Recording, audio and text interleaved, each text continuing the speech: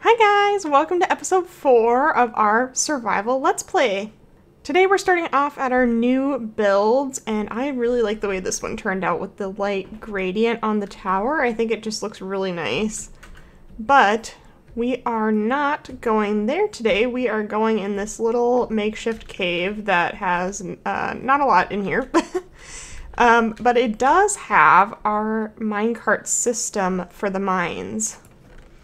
So, I did some mining in between episodes just to try to get some diamonds, and we were able to get some, but they're not here. Where are they? I think they're still down in the mines. So I dug out our mines a little bit. We're going to have two main channels and then have little branch mines going off of the main channels. And also down this way just a little bit, there is a geode. Or at least there used to be one, but we cleaned it all out. And now we're going to be able to have a nice little amethyst mine if we ever want to build with amethyst.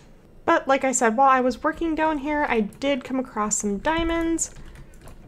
And there they are. So we have 24 diamond ore, and I just thought it would be fun to break them on camera and see how much we can get with the Fortune 3 pickaxe.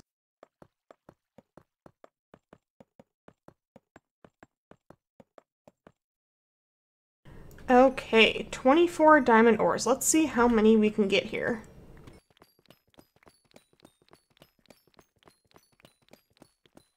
We got 56 diamonds from 24 ores. I'd say that's pretty good. With that, I think we can make a full set of diamond armor. Pretty sure. Oh yeah, easy.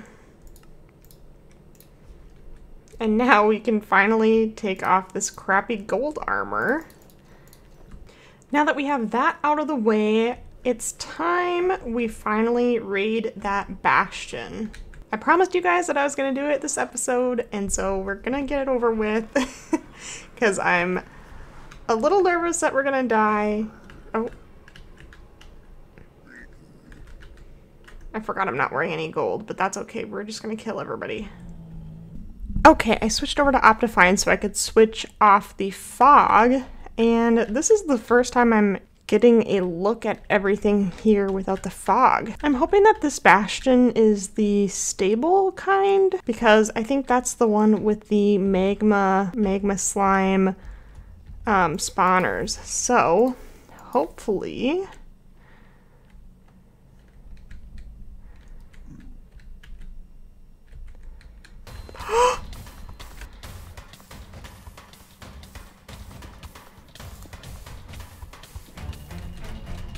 oh my gosh.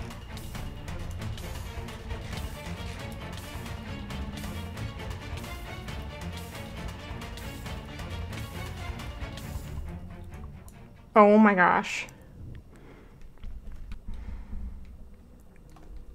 I Almost just lost it all. I can't even believe I survived that. I thought I was gonna die. Holy crap. Always watch where you're going in the nether. Holy crap. Okay, I've collected myself a little bit and built a nice little bridge, so that's not to happen again. And I think the way to go is up.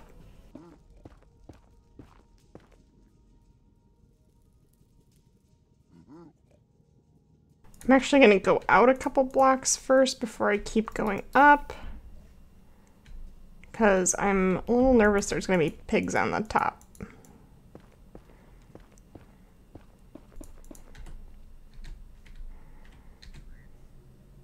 Oh, I hear some. I hear piggy boys, but I don't see piggy boys. Oh, yes, I think this is, that's, um, the stables kind, right? Okay, here's our first couple chests. okay, go to golden apple. That's always good.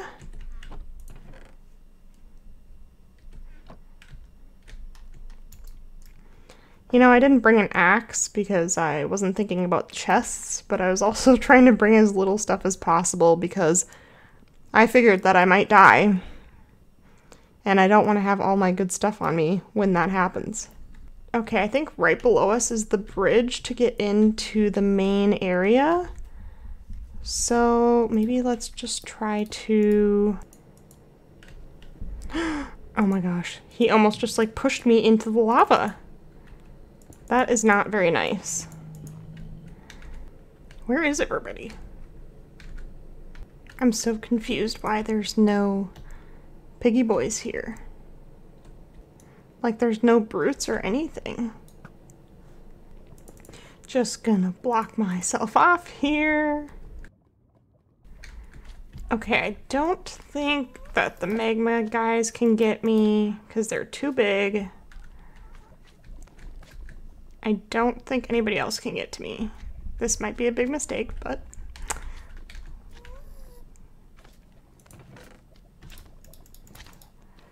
Oh my gosh, we got an enchanted golden apple. That's like one of the rarest items in the game, I think.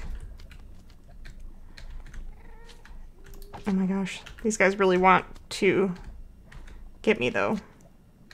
Okay, I did see one more chest over here on this side.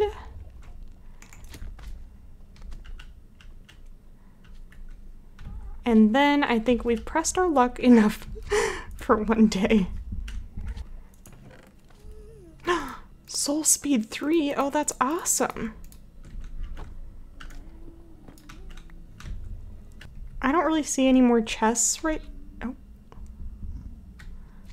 That was a regular... That was a zombie piglin, I think.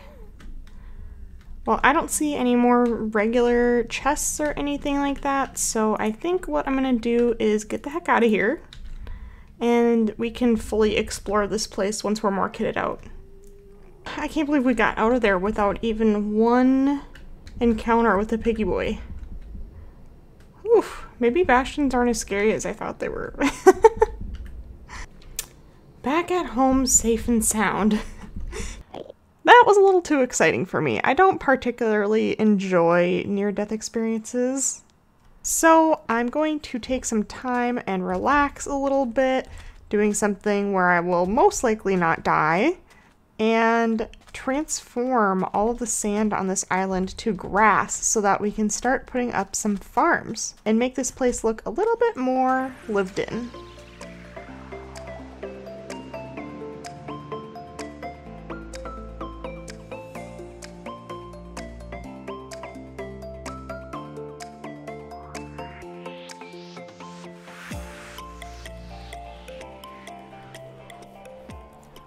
This island is starting to look way better.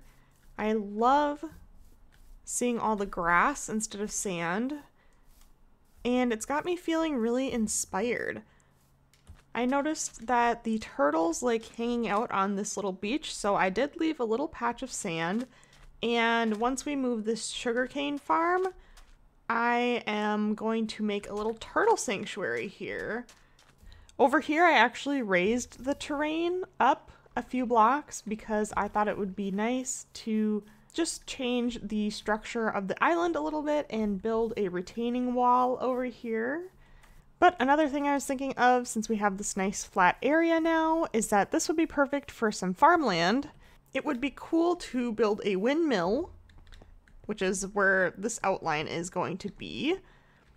And since it's hanging over into the water, it would be so cool to build some sort of structure under here where you can drive your boat in and then come up to the land. And it's a little bit hidden. I think it would be so cool.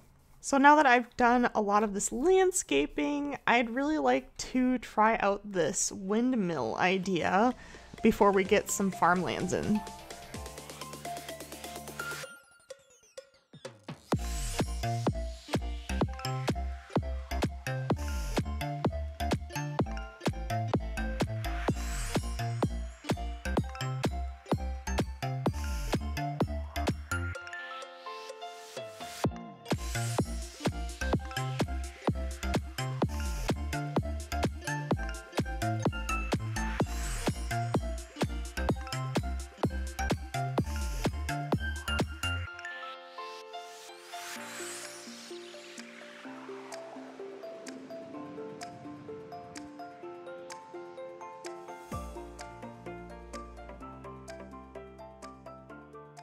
We have arrived on a suitable design for the windmill, and it was quite the journey to get here. As I'm sure you'll see in the time lapse, we had a couple different designs and eventually ended up going with this one. So in this design, I kind of thought, you know, when the fairies or whoever lives on this island came here, there was a big boulder with some mushrooms growing out on top of it, and they were like, hey, let's make a windmill. So when they got here, they installed some braces and whatnot to keep the boulder in place and keep the mushroom from like toppling over or something, who knows. On the inside, I did a functional interior. Well, not fully functional, but in the real world it would have been functional. Maybe I'm dumb, but I didn't actually put two and two together that windmills used to be used for milling grain I mean, it makes sense saying it out loud, but in my head, I never put it together. When I was growing up, windmills that we had were purely decorative.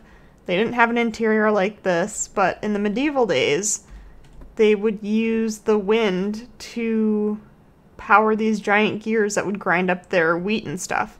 So I kind of tried to build something like that. There's a gear up here that when the wind moves, it turns these gears that come down here and turns these gears, and then the wheat or whatever is in here, which gets ground up and spit out here. I did make an actual Minecraft purpose for this build, though. I moved our composter into here and hit it with some trapdoors, so since we're going to be doing our- oh, it's night as I was saying, since our crop fields are going to be out here whenever we want to harvest them and make some bone meal, we can just bring it in here and pop it in this chest. For example, I have a bunch of potatoes here. And they will funnel through and turn into bone meal down here. And under a couple of these trap doors, we have our basement area, which is just somewhere we can use to come in and out on our boat And then we can use the ladder to get up to the mainland and nobody will ever know. Now we can bring this whole area together by putting in some fields and building up this retaining wall so it's not just dropping off into water.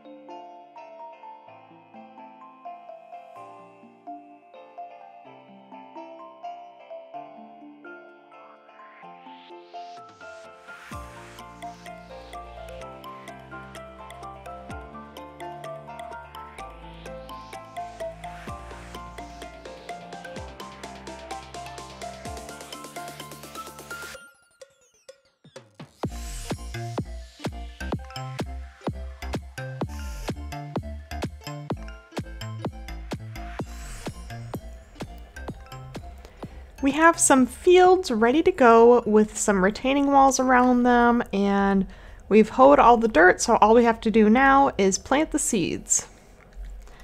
This one will be beetroot but I only have a couple of those so I guess it'll take a little bit for these guys to grow.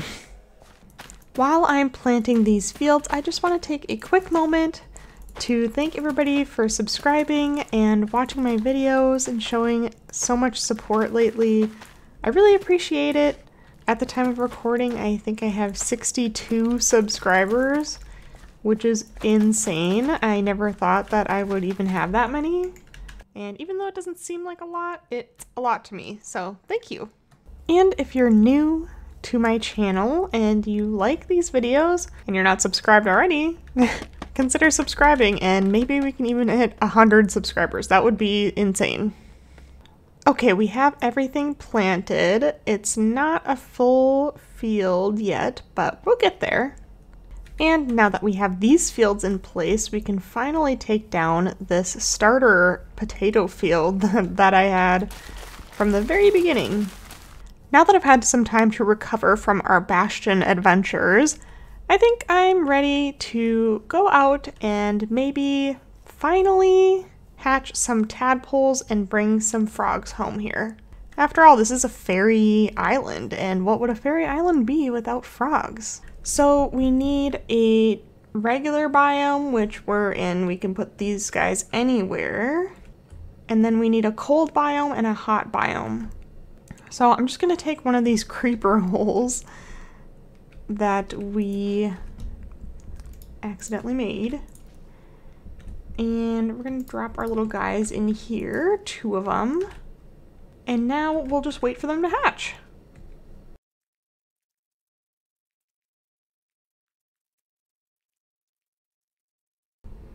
Okay, I just looked it up and it takes about 20 minutes for them to spawn. Uh, so I'm gonna go do the other variants because then I can do some resource collecting and stuff while I wait for them to spawn. You may have noticed that my trusty steed has not been around. He's uh he's not in his little home. And that's because I died a while ago in a lush cave and I never went and got my horse back. So let's head back and get him and then he can help us get to where we need to go. Okay, I'm pretty sure that he's somewhere right around here.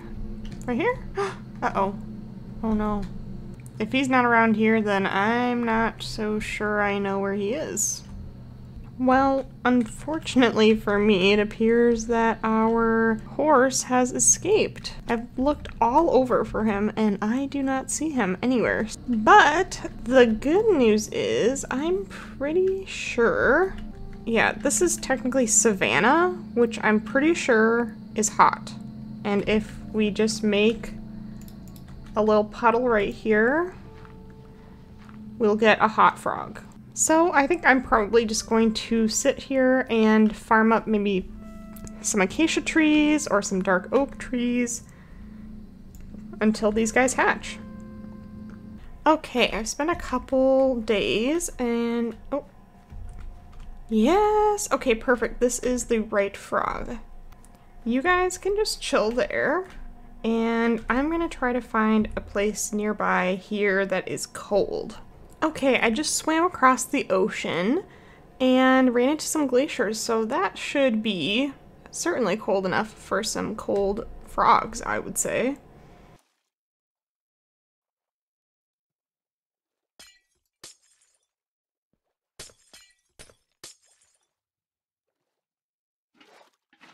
And once these guys hatch, then we can bring them all home. Uh-oh. Oh no. Oh, oh no.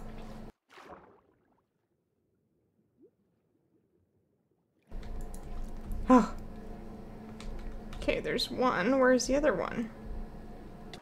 I've been swimming around for a little bit here because they both should have grown up around the same time, but I don't see any other frogs swimming around here, so I think we just are stuck with the one frog, but that's okay. We can always come back and get some more.